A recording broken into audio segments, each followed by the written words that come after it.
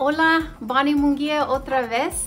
Regresé hoy para hablar de dos documentos que no todos los estudiantes necesitan, pero algunos sí, así que quiero explicarles.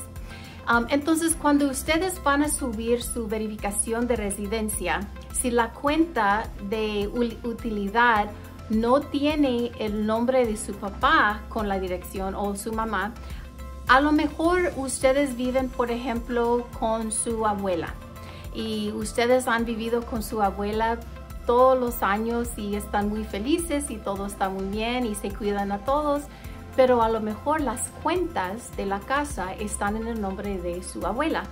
Entonces ustedes van a llenar el, documento que se dice co-residencia. Esto significa que están viviendo juntos con su abuela y ella tiene las cuentas en su nombre.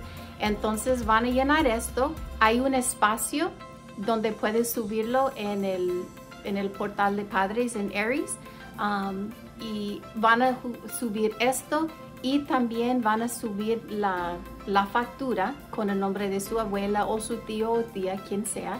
Y esto está muy bien.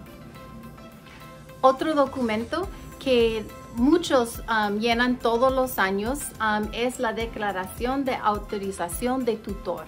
A lo mejor uh, el hijo o el estudiante está viviendo con su abuelo o tío o tías um, y no tienen guardancia oficial, pero siempre han vivido con ellos o viven con ellos. Entonces ustedes llenarían esta forma Y la, la, información y la, las instrucciones están en el segundo página de esto y el enlace estará en las instrucciones de registración.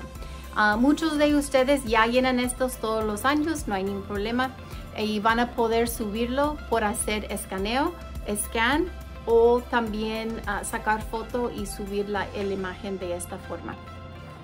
Esperamos que esta información les ayudó. La semana que entra, si necesita ayuda, por favor, ah, nos avise y estamos a su servicio para ayudarles.